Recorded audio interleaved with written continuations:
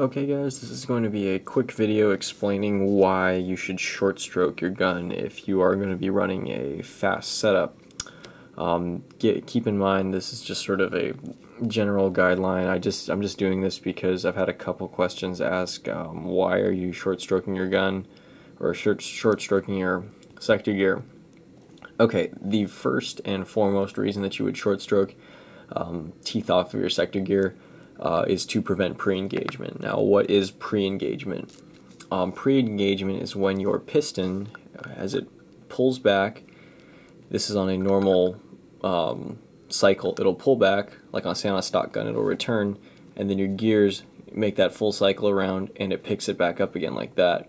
However, if you're going to be running something like a like a very high speed setup on say 13 to 1s or you're running a very weak spring, say M100 or less than M100, even M110, you can see a lot of problems with this. Um, your piston will actually not fully return before your gears make a full circle and come back around again. Um, because of that, it'll catch it about, know, say right here. Um, and obviously, this is not going to bode well for these plastic teeth or even even metal teeth. It, it, it, your piston needs time to return fully uh, before your sector gear comes and picks it back up again. Um, so short stroking it uh, provides a couple things. First of all, um, so just say these three teeth are gone, so it'll pick up from uh, this tooth instead, and it'll pull it back to, okay, say this point right here, and it'll release it a lot earlier. The, so that way the piston uh, releases quicker and has more time to return before the gears come back around again.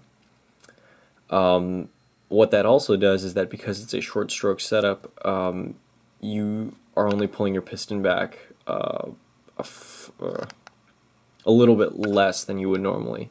So what that's going to do is it's going to um, lower your FPS. And that's really handy um, when you want to do a incredibly fast setup, say anything over 40-ish. I'll just use that as an example because anything over actually like 30, 35 is when you can start to run into problems like this if you haven't set things up properly.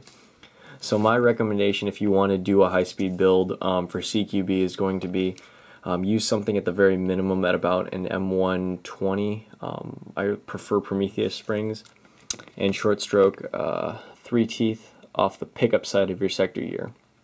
Now why the pickup side of your sector gear? Um, well, you'll notice that where the um, that where this little notch is to pull back your tappet plate is located right here. And if you were to short stroke off of the uh, release tooth right here, you might not give yourself enough time for the air nozzle to seal back up again before it releases, um, and that can cause some compression and feeding issues. So that's why you would cut off these three teeth right here, and that way your where it engages your tappet plate is still going to be the same time and everything like that. It's just the actual piston stroke will be coming just a tiny bit later. Um, but yeah, and so you can short stroke to reduce your FPS on higher, on heavier springs. And that also helps with something called overspin. Um, overspin is when your motor is turning so fast, say that you're running at 11.1 with a very high speed motor.